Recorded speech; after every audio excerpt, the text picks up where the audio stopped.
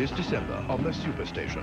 It's what you love about Bond. All the Bond movies for your viewing pleasure. Diamonds Are Forever, Moonraker, and more. 13 days of 007, December 9th through the 21st. Super Bond is on the Superstation.